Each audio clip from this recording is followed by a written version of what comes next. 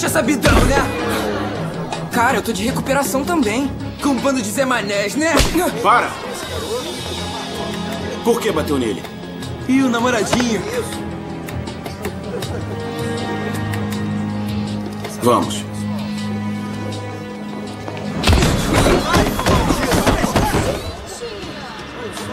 Alguém achou ali? É muito sem noção.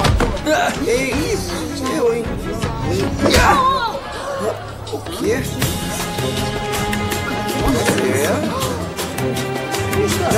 Ah, doeu.